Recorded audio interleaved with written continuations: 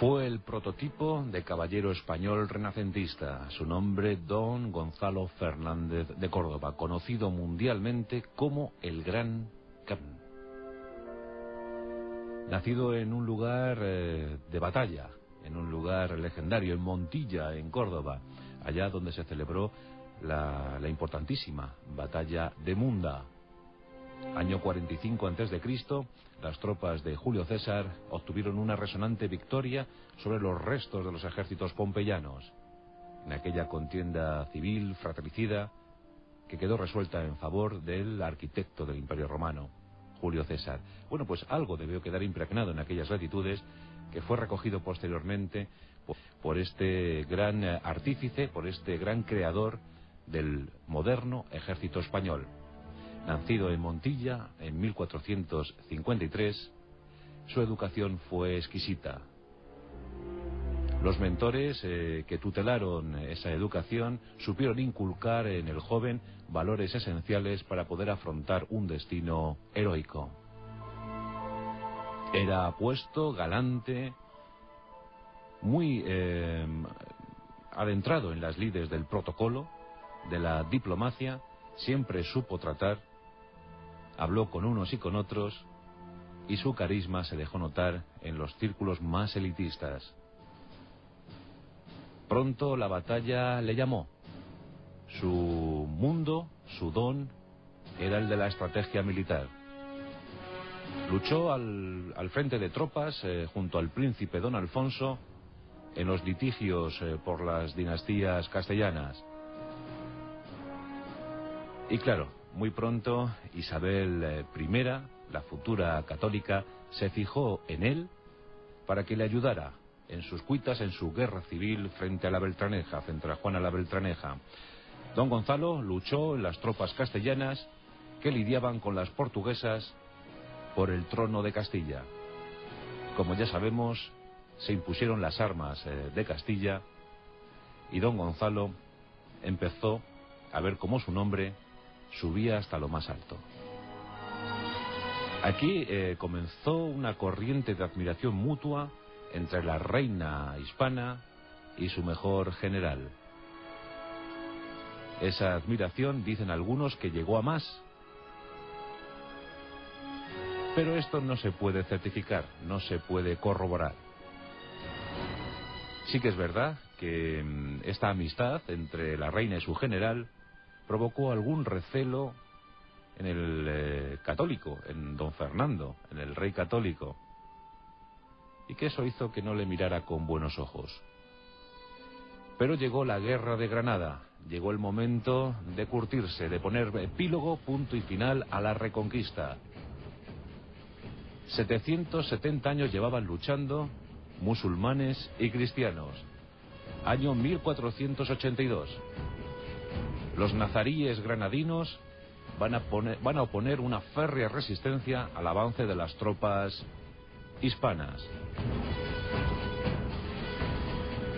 En esta guerra que va a durar 10 años, donde se van a poner a prueba las mejores fuerzas del ejército español, pues eh, se van a abandonar ya algunos conceptos eh, muy obsoletos, eh, como la preponderancia de los caballeros acorazados, ellos eh, darán paso a la caballería ligera, a la infantería seccionada por tercios y sobre todo a la artillería.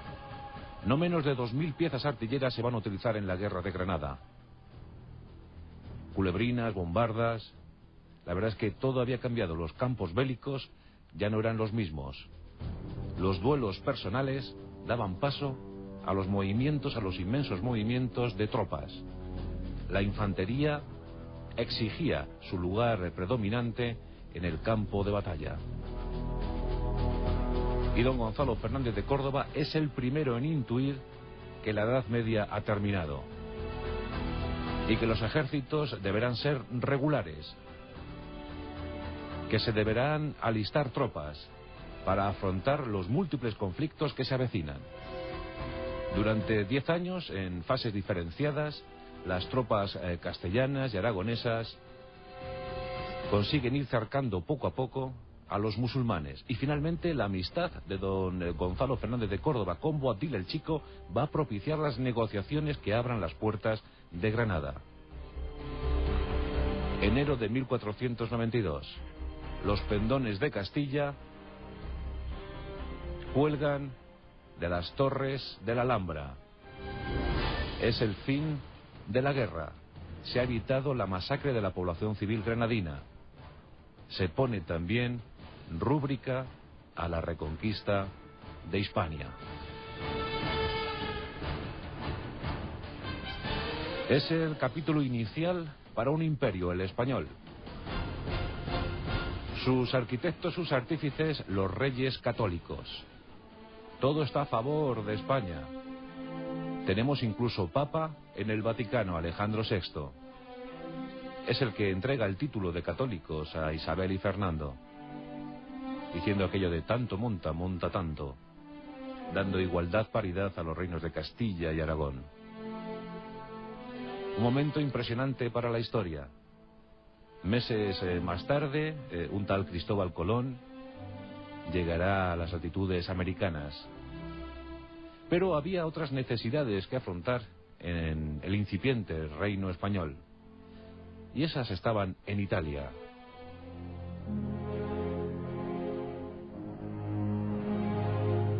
Decían por entonces los soldados pertenecientes a los primeros tercios, tenían un lema, decían España mi natura, Italia mi ventura, Flandes mi sepultura. Bueno, pues el creador de los tercios fue don Gonzalo Fernández de Córdoba.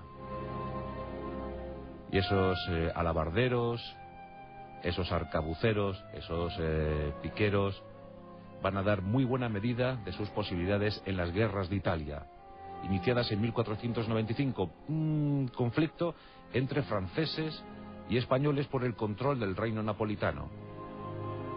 Los franceses presionaban desde el norte, los españoles hacían lo propio desde el sur.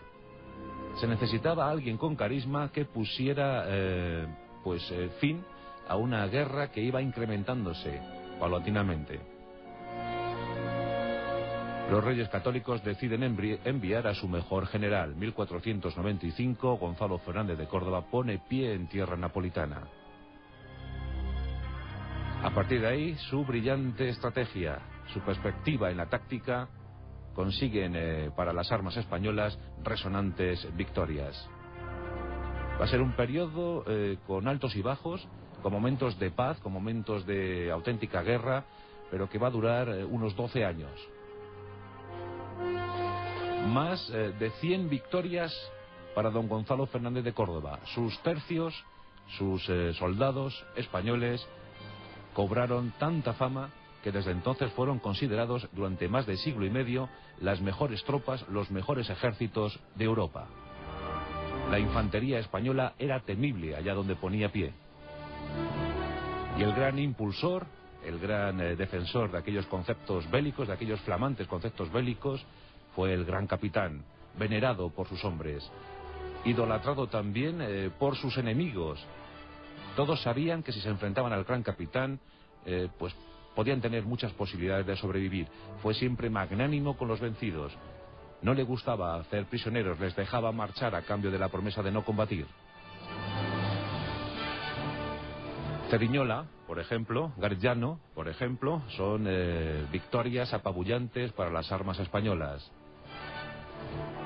Y el gran protagonista de aquellos eventos eh, fue sin duda el gran capitán. Pero en 1504 fallece Isabel la Católica. Y aquí comienza a cebarse la desgracia para el gran capitán. Fernando V y su corte de, de estómagos agradecidos desarrollan una inquina terrible hacia el gran capitán.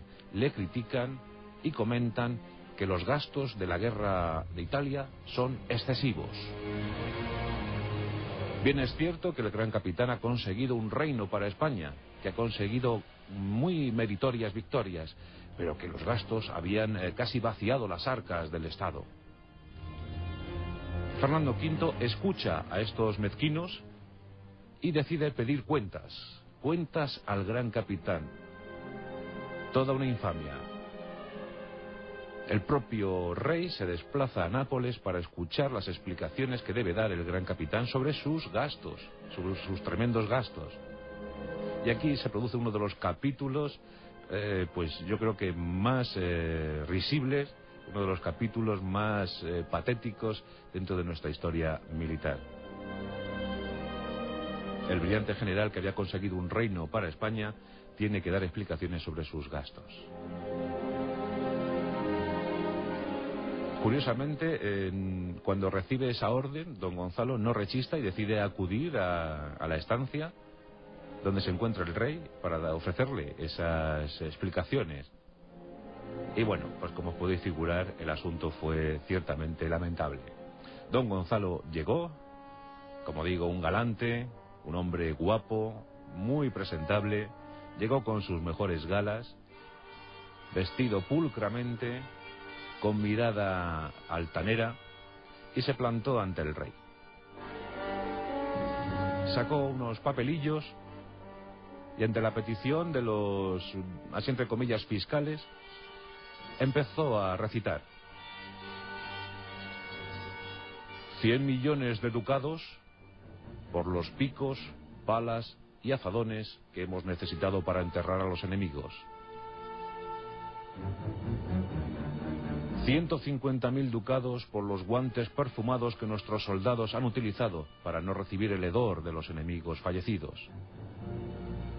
400.000 ducados para reponer las campanas que han sido dañadas de tanto repicar, clamando la victoria de nuestros eh, soldados.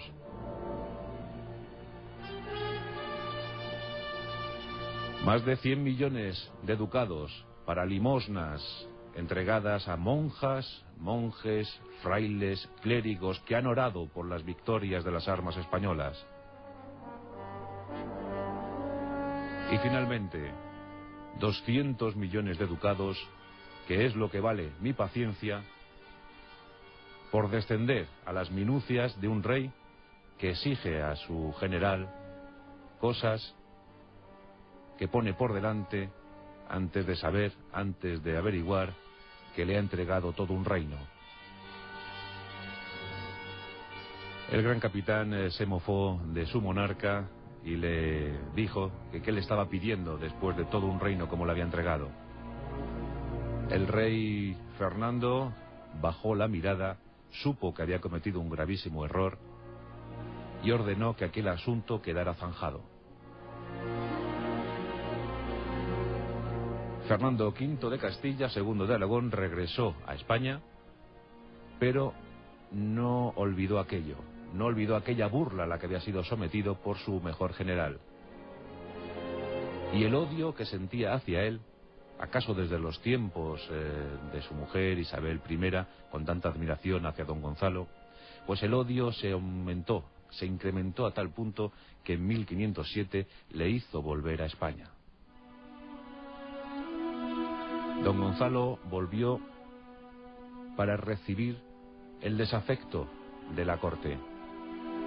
Fue injustamente relegado a un segundo o tercer nivel. Se refugió en Granada y allí falleció en 1515 víctima de la malaria contraída en las guerras de Italia. Finalmente Italia acabó con su vida. La malaria se llevó a don Gonzalo. Eso sí, el rey ordenó que la corte se enlutara que todos vistieran de negro. La, ceremonia eh, que se organizó fue desde luego fastuosa. 200 banderas acompañaron el féretro de don Gonzalo Fernández de Córdoba. Dos eh, pendones reales arrebatados al enemigo, 200 banderas, más de 100 victorias que fueron aclamadas, que fueron recordadas en ese momento final. La verdad es que es el mejor general, el mejor militar que hemos tenido en muchos siglos, el gran capitán. Pero ese odio, ese recelo injustificado del rey Fernando, deslució de algún modo la biografía brillantísima de este inmenso hombre de Estado, un hombre renacentista, un hombre que supo ver que la Edad Media había quedado atrás y que había que dar paso a las nuevas formas de guerra que eran muy necesarias para que España fuera lo que fue.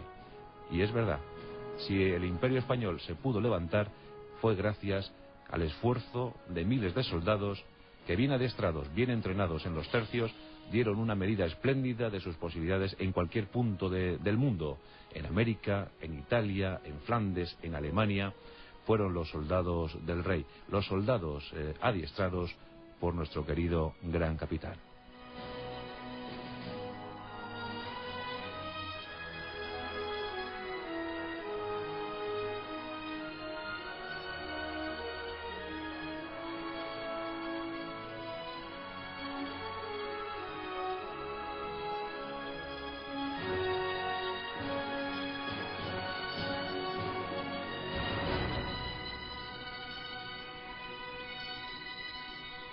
La Rosa de los Vientos, con Juan Antonio Cebrián, en Onda Cero.